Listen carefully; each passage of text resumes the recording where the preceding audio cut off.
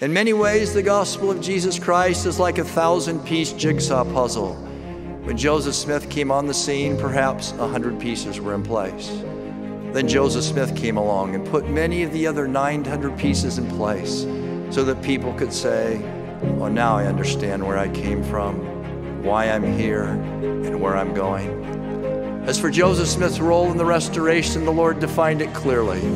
This generation shall have my word through you.